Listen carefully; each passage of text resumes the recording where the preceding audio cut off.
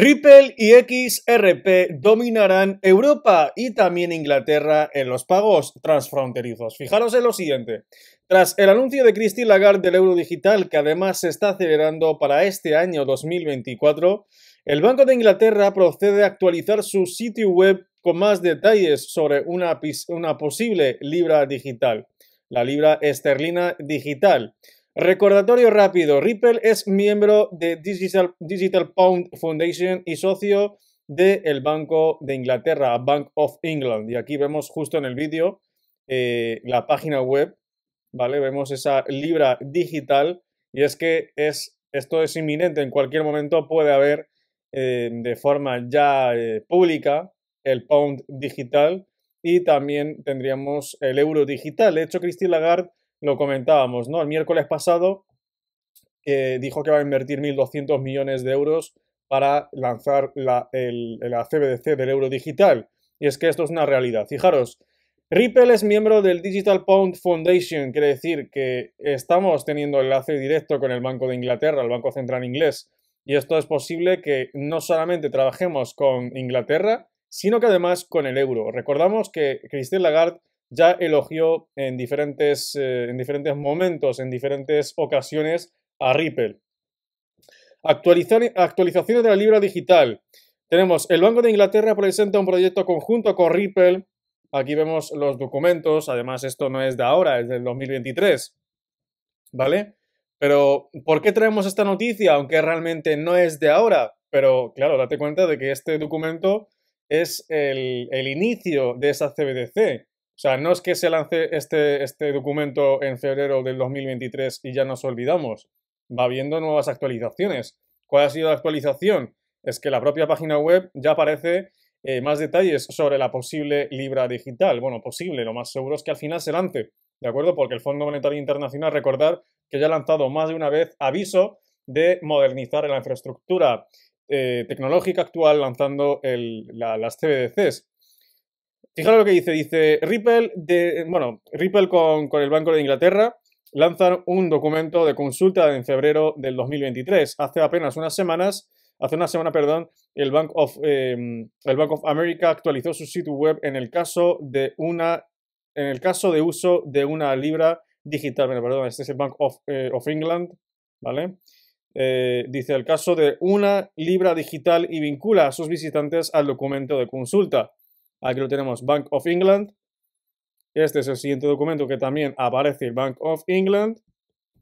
¿De acuerdo? Así que en cualquier momento podríamos tener de forma oficial la CBDC dentro del XRP Ledger. Aquí lo tenemos, With Ripple. Aquí lo tenemos, Cross Border. Los pagos transfronterizos a través de nuestra cadena de bloques XRP Ledger. Y aquí lo vemos, eh, lo vemos claramente como aparece Ripple. Y como te decía antes, Europa se está acelerando. Europa se está acelerando. Eh, Reino Unido también. Inglaterra se está, se está acelerando también para lanzar su propia CBDC. Y en este año 2024, 2025, creo que, creo que mucha gente no se está dando cuenta, pero año muy importante dentro del sector financiero dentro del sector bancario. ¿Por qué digo que es muy importante? Porque estos bancos están haciendo ahora mismo las actualizaciones ISO 20022, están cambiando la infraestructura, es un año de transición, aquí empieza una nueva era.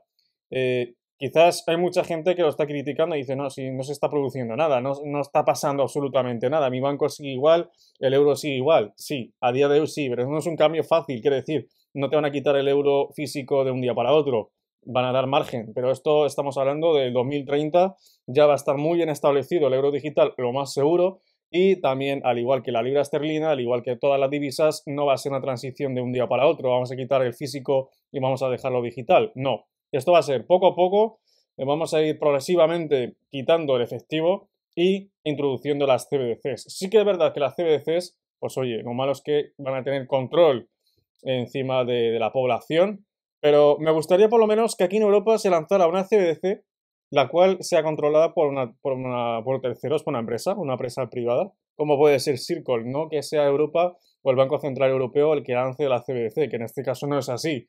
Si fuera de la otra forma, pues estaría bastante bien. Yo, de hecho, pues la estaría usando sin ningún tipo de problemas. Bueno, bueno, va a llegar un momento de todas formas que queramos o no vamos a tener que utilizar la CBDC. Al fin y al cabo, Esto es un juego de las élites que ya han planeado desde hace un montón de tiempo y el Fondo Monetario Internacional más de una vez ha lanzado avisos a la población, avisos a, los bancos de que se tienen que acelerar para realizar esos cambios y es lo que estamos viviendo a día de hoy. Los cambios van a llegar.